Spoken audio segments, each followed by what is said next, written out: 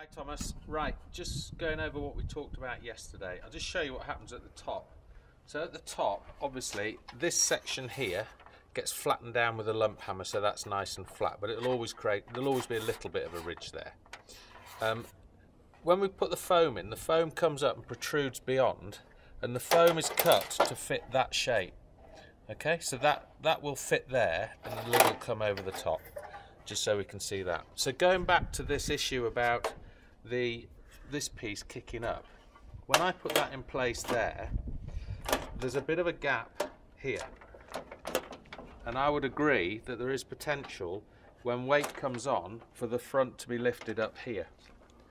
So the solution to that is quite simply to bend that along there, bend that forwards like that. Just like that. So that is bent forwards, okay? Now, when this is put on there, okay, it's pinned, it's, it's already pre-bent. So by the time we put the tape on, that will be absolutely stuck on there. And then when we put any more weight on the back, I'll bend it a tiny bit more. Just to really show the point. I'm going to do this without any tape. Okay, so now that's absolutely down at the back. So once we lock it in place with these screws,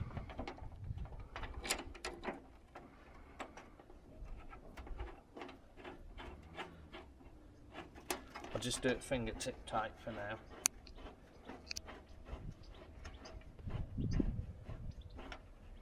fact, just chuck me that drill. I'll just grab this drill, speed it Okay, so when we just lock these two in place,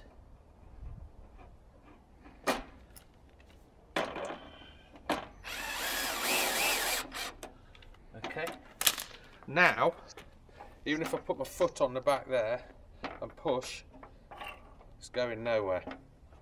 Okay, so especially don't forget we'll already have that tape behind there which will have gripped it and held that absolutely fixed. But now doesn't matter what weight is applied behind it, any roofing that goes on there, that sticks flat. Okay, hope you get that. Cheers.